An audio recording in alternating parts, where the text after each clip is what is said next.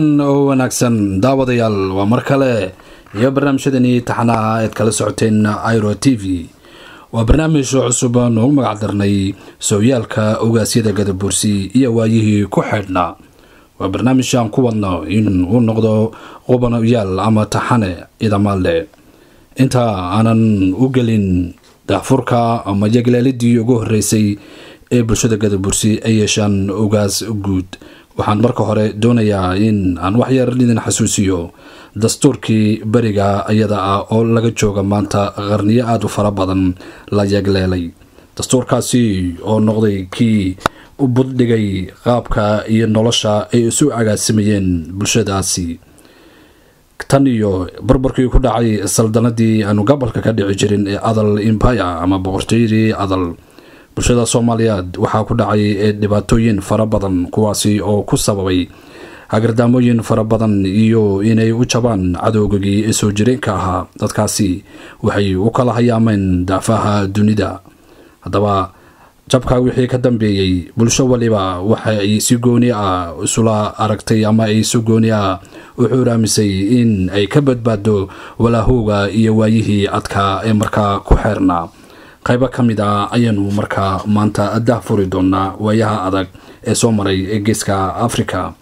haddaba dastuurkan oo ay markaa iyada ah dib loo habeeyey ama bakti afuuf lagu sameeyey ayay bulshada gadabuursi samaysatay ama ay samaysteen iyagoo markaa ku hiliilaya ama ku niyadsan in ay noqdaan ama ay noqoto mid in badan oo waayaha ku soo fool leh wax badan ka tari doonaa kolkay taariikhdu ahayd qarnigii tobnaad hijiriyada ayaa qabiilka gadabursiga waxaa ku yimid runtii dhibaatooyin badan oo ay la wadaagayeen dadyoogii ay jaalka la ahaayeen ama ay dhiig wadaagta ahaayeen. Dhibaatooyinkaasi waa kuwa aan in badan oo hore ee ka hadalnay waxaase u sii dheeraa dagaalo ba'an oo markaa ay si gooni ah ugu hayeen qowmiyaddii markaa la oran jiray gaala gaala oo ahaa niman runtii ideolojiyadooda ay ku salaysneyd dhulboob iyo layn iyo barakicin dagaaladaasi waxa ay sababeen in dad badan oo soomaaliyeed ay ka hajiraan geeska africa gaala si gooni ah ayay ugu qaadeen qowmiyadda gadabursi ee dhulkii ay deganeed guud ahaan. Haddaba arrintani waxa ay ka soo maaxatay waayeelkii ama xeerbeegtidii markaa joogtay. Si loo badbaadiyo bulshada inta ka hadhay waa in la yagleelo dastuur aan birmageyda ah oo ay dadka yeeshaan. Kolka muddo badan ayaa wadatashi iyo gorfayn lagu maqnaa si arrimahaasi looga midho dhaliyo haddaba waxaa la isla gartay oo si mug leh oo dadku ama odayaashii xeerbeegtidii ay isla qaateen in la helo mar haddii saldanadii ballaarneed ee adanimbaya ay meeshii bannaysay in la helo hoggaan runtii dadkan dhan wada matala ama ay bulshadu ku soo hirato garashadiisa caqligiisa iyo garaadkiisaba waxaa la isla gartay ama la isla gorfeeyey wax habeenba meel lagu gorfeeyaba dharaarba meel la tagaba golba geed hoostii wax lagu xarxariiqo. Halba siday noqotoba arrin waxaa la isla gartay in boqor loo calimo saaro ugaas cali makaahil dheere iyadoo markaa lagu doortay ama lagu dooran dadku ay markaasi ay u arkayeen inuu yahay nin wax badan ama waayaha markaa taagan kala dabaalan karaya bulshadiisa. Waxyaabaha sida goonida ah lagu xushay waxaa ka mid ah caqliga ilaahay markaa uu ku manaystay sharafta markaa uu hubanaa faseexadiisa ama luuqdiisa yacnii isagoo ahaa ruux aada u furfuran dabacsan hal adayg leh iyo qaabka uu markaasi ay noloshiisii u agaasinayd haddaba qodobada markaa iyada ayaan soo hori doonaa markaa laisla gartay in la lafaguro iyadoo loo soo kala horreysiinayo sida ay u kala mudan yihiin. Waxaa la go'aamiyey oo laisla waafaqay dhammaan ummadii gadabursi in ugaas cali loo yagleelo ama loo cimaamado inuu noqdo ugaaska guud ee madaxtinimada ama bulshadaasi hogaamiya waxay arino sidaa ahaataba waxaana arintaasi daba socday xeerar fara badan oo xeer jajab u badan oo aynu dib ka sheegi doono laakiin iminka waynu guud mari. Arrintani waxa ay runtii si fiican loogu bayaamiyey oo xeerbeegtidii ay si weyn isula qaateen in cali ugaas cali makaayl marka la doorto ay arintiisu noqoto sidaan soo socoto mar walba arintu waxay lagu jaangoynayay hadba sida ay wax isu bedelaan iyadoo oo markaasi ay jireen waxyaabo badan oo ku xirnaa bulshadaasi. Waxaa la isla gartay in arinta ay noqoto mid dhaxal ah ay kala dhaxlaan bulshada markaasi oo ka soo jeeda ama taranka ugaaska arintaasi oo arrin aada u fara badan ah intaayanu qodobka koowaad ku soo koobaynaa qodobka labaad waxaa kaloo ay isla waafaqeen xeerbeegtidii inay boqorka la taliyaan. Boqol nin oo qabaa'ilka oo dhan laga soo doortay lagana doorto boqolkaas nin afar nin oo boqorka goor waliba la joogto kuwaasi oo lagu magacaabi jiray afarta dhardhaar. Boqolka nin oo bulshada gadabursi oo dhan laga soo xulay misna laga sii dhexxulay afar gooni ah oo loo yaqaana afarta dhardhaar ayaa qodobka labaad lagu yagleelay saddex inuu xukunka ahaado arrin laga wada tashado boqorka iyo boqolka nin haddii ay arintu tahay arrin aada u weyn xeerkuna ahaado mid ugub ah ama mid curad aba. Wixii ugub ah ee cusub waa inay gooyaan boqorka iyo boqolka nin. Wixii curad ahna sidoodii hore ayuunbaa arinku ahaanaya afar boqorka kolka la boqrayo waa in madaxda gadabursiga oo idil ay dadka waxgaradka ah iyo dhammaan qoorweyntu ay joogaan caleemasaarka shan kolka la isla waafaqo kadib in la geeyo ceelka la yiraahda bagi bagi oo ah ceel taariikhi ah oo si gooni ah aan oga sheekayn doono magaca siduu kula baxay.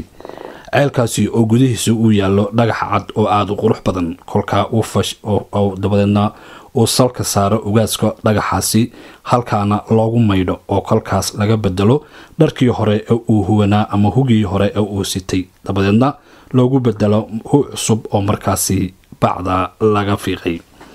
lix kolka ceelkaas la geynayo waa inay ugu yaraan raacaan fardafuulka ama ragga fardafuulka oo qiyaastii boqolaal iyo boqolaal ahaa kuwaasi oo sii galbinaya ilaa iyo tan iyo ceelka inta laga geynayo. Kadibna marka uu soo guryo noqonayo dib u soo raacayay. Inta uu ceelka ku maqan yahayna waxaa la sii yegleelayay aqalkiisii markaa uu degi lahaa boqorku dabadeedna waxaa dhici jirtay oo sida caadada ahayd mar walba la sameyn jiray ama lagu sii diyaarinayay aqalka uu markaa ugaaska tegi doono. Afar nooc oo ka mid a caanaha caanaha saddex noocaan iraada raalli ahaada caanahaasoo midna yaha caano lo'aad caano geel iyo caano adhi. Waxaana inta badan la eegi jiray ama laga barakaysan jiray caanaha marka uu ugaasku ama boqorku uu doorto. Toddoba dadka jaarka ah ayaa in ay ama hareeraha ama waxa badan yacni arrimaha ay ka dhexeeyo bulshadan gadabursi dhaqanka yacni ood wadaagta guur wadaagta calaf wadaagta intaba in lagula dhaqmo si wanaagsan oo ay nabadi hormuud u tahay. Lagana fogaado wax waliba oo khilaaf ku keeni kara bulshada hareeraha degan ama jaadhka la ah ummadan uu boqorku hogaaminayo. Sideed xukunka xagga diyada in la raaca sida shareecada islaamka ay qabto. Sagaal guurka iyo furiinka in lagu dhaqmo sida shareecada islaamku ay qabto. Qodobka tobnaad waxaana dhammaan lagu heshiiyey in qabyaalada ama qabiilka ama mililka qabyaaladeed laga fogaado. Guud ahaan ummadda gadabursi caadadaasi oo runtii uu inta badan lagu ammaano inuu boqor cali ama ugaas cali uu gundhigeeda lahaa. Waxyaabaha aynu ka soo qaadan karayno oo uu ugaasku uu markaasi bidhaamiyey ama uu buddhigeeda lahaa waxaa ka mid ah in uu isaga oo doonaya in laga fogaado magaca in la adeegsado qabyaaladeed lana aanan la dhiraandhirin ee qabiilka magaciisa guud iyo sharaftiisa iyo haybadiisa halkaa lagu daayo. Ayaa waxa uu isticmaali jiray si looga fogaado in la yidhaahdo reer hebel iyo reer hebel ciyaarta loo yaqaano gucusta gucusta oo waagaa la ciyaari jiray waa ciyaarta maanta loo yaqaano ragbida inta gosha lagu qaata lala ordo gucusta ayaa la ciyaari jiray. Markaasi gucustaasi ragga ciyaarayo ay markii ka sii horeysay ama waayadii hore loo isticmaali jiray magac beeleed ama magac shaqsiyadeed ayaa waxa uu bixiyey sidaa tan. Labada kooxood oo ciyaarayo ayaa midna waxaa loogu yeerayay agoon midna abaale. Marka labada kooxood oo ciyaaraya midna waa agoon midna waa abaale waxaa kale oo iyadana ahayd magaca loo adeegsado labada kooxood oo ciyaarayo dacar joog iyo dhagax joog. Qolada dhinaca dacarta dhulka dhagax leyda a jooga iyo dadka dhinaca maxaa layihahdaa waa gubanka oo kale iyo oogada oo kale sidaas oo kale dacarjoog iyo dhagax joog. Waxaa kaloo jiray cankaable iyo quude iyo laba kooxood iyaguna ah cankaable iyo quude ama doob iyo goobaale doob goobaale quude cankaable. Waxaasoo dhan waa magacdii hore ee asalku soomaalidu isticmaali jirtay. Mid walibana u baahan in daahfur lagu sameeyo ama dib loo ogaado. Boqorku waxaa kale oo uu go'aamiyey ama ugaasku in uu ka tegay halhays ama murti dhaxalgal noqotay oo tan iyo maanta la adeegsado taasoo ah oo uu yidhi gadabuursi waa beel ee ma aha bax isagoo ula jeedo in ummaddu ay tahay ummad aada u ballaaran oo dhul ballaaran degan oo aanan loo arag baxbax ama aan laysa soo yacni sokeeyaha iyo inaan dadka la soo kala dhoweyn gadabursi waa beel ee ma aha bax waa murti aada u caanbaxday oo tan iyo maanta la isticmaalo. Koob iyo toban ma qodob kooiyo tobnaad arrintaas oo uu jeediyey in gadabursiga aan loo ogolayn inay ka ku dhaqmaan arrin qabiil. Labaiyo toban gadabursigu wuxuu lahaa lix nin oo xeer beegti ah oo xeerka gadabursiga aada u yaqaano oo wixii xeer ah ee laysku qabto ama lagu murmo xaggooda loola noqdo dacwooyinkooda ama qaabka loo agaasimaya ama loo dhiraandhirinayo ama loola tacaalayaba. Labaiyo tobanka qodob ayaynu markaa insha allah aynu maanta ku soo koobi doonaa dabadeedna waxaynu ku xijin doonaa taariikhda ama bilowgii iyo caleemasaarkii ugaas cali makaayil dheere hadduu ilaah yidhaahdo. Barnaamijka waxaa idin daadahaynayay anigoo ah suxfi abrone waxaad kala socotaan iro t v farsamadii injineer muude. Asalaamu calaykum waraxmatullaahi wabarakaatu